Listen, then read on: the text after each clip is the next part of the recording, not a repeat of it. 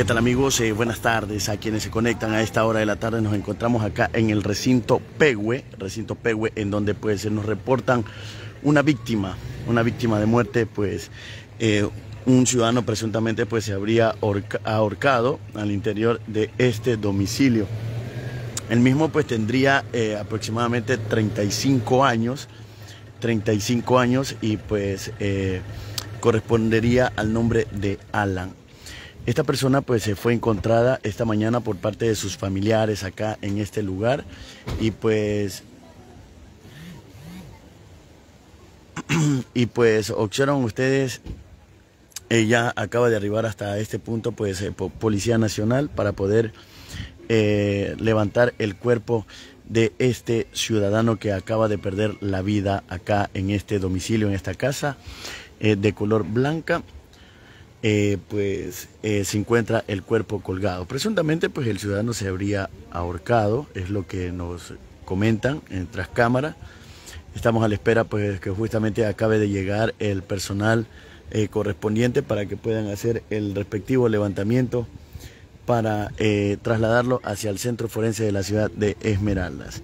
Acá en este punto se observan familiares, amigos, eh, se observa pues también eh, ya Policía Nacional eh, en este lugar pues tratando de recabar indicios de lo que habría llevado pues a este ciudadano pues a cometer este hecho, ahorcarse. Se ha ahorcado el ciudadano pues sus familiares están llorando la pérdida pues de este ciudadano. Esto es en el recinto Pehue, acá vía de Camarones aproximadamente a un minuto, a un minuto. Ah, sí.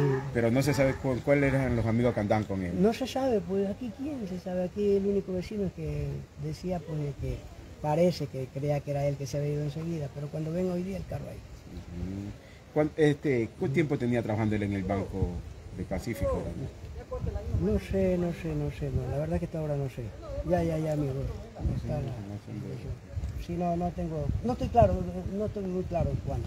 Pero está ahorcado el chico, está ¿Ah? ahorcado el chico. Sí, sí, sí. Bueno, muchas gracias. Gracias. Ahí escucharon ustedes, ahí escucharon ustedes eh, la versión pues de eh, uno de los familiares pues que indica que él estaba trabajando en el en el banco, que él habría estado pues en esta casa pues y el día de hoy pues eh, cuando mm, amaneció ya observaron el vehículo del ciudadano pues eh, al ingreso de esta casa. Eh, tras cámaras nos comentan que el chico pues trabajaba en el Banco Guayaquil, que trabajaba en el Banco Guayaquil y pues habría llegado hasta este domicilio pues si habían estado eh, acá en esta casa. Pues el día de hoy pues ya solamente apareció el cuerpo de él sin vida ya colgado pues en una de las habitaciones de este lugar. Ahí observan también, acaba de, arribar ya hasta acá, hasta este punto, pues personal del Banco Guayaquil, sus compañeros acaban de llegar hasta este sitio, amigos. Esta es la información preliminar que tenemos, estamos a la espera de que justamente eh, acabe de llegar el personal policial, el coronel de la policía, pues para que nos pueda dar eh, más datos que puedan esclarecer pues los motivos o las causas pues que habrían conllevado a la muerte de este ciudadano pues que está se encuentra eh, ahorcado acá en este sitio. Está sin vida. Está sin vida pues el ciudadano pues y eh, están a la espera de, de, que acabe de llegar el personal policial correspondiente pues para poderlo trasladar hacia el centro forense de la ciudad de Esmeraldas. Esta es la información que nosotros logramos obtener a esta hora de la tarde amigos queridos. Hasta pronto.